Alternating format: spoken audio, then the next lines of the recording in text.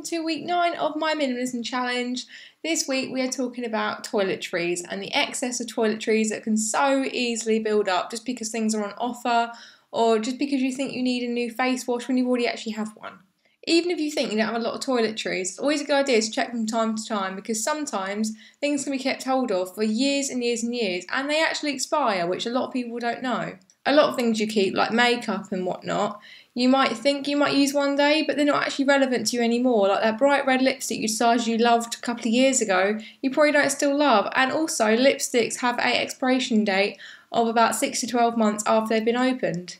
So your task this week is to gather everything, and I mean everything. So toiletries including shower gels, body lotions, bath salts, nail polishes, makeup, skincare, fragrances, the lot. Now you've got everything collected up, I want you to pick up every single individual item and really decide if you still need it.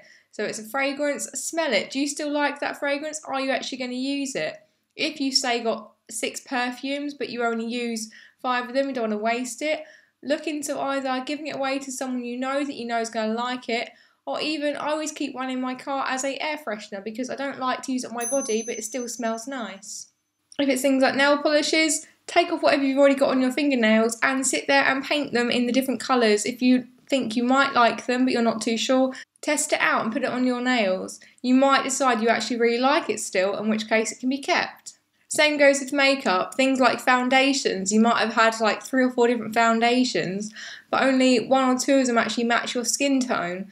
So sit there and try it out. Put it on your face and just see how you like it. Do you like, why don't you actually wear it? Is it because of the consistency? Is it that you don't like the way it goes on? Does it not have enough coverage? All things like this should be thought about to see if you actually still need to keep them. Now, the things you're getting rid of, don't necessarily just throw them all in the bin. Ask friends and family. You might not want to sell secondhand makeup because I'm sure no one wants to use your secondhand makeup, but your friends might. They might have no issue with you using a lipstick once and then deciding you didn't like it. So give them away. If you really have to put them in the bin, then think about the casing. Can it be recycled? A lipstick case can quite easily be recycled once you've taken out the inner lipstick. Now you've downsized all your products, you need to find a home for them. So this is going to be where they're going to be kept from now on. Every time you use them, they're going to go back into this same home and you're not going to put them anywhere else other than where they belong. While you're doing all this, you might as well have a complete cleanse and wherever you're going to put them back into, clean that out. If you have makeup brushes, clean those too.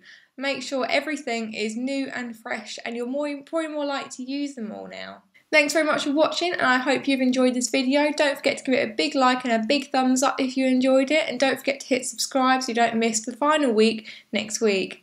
Thanks very much for watching. Bye!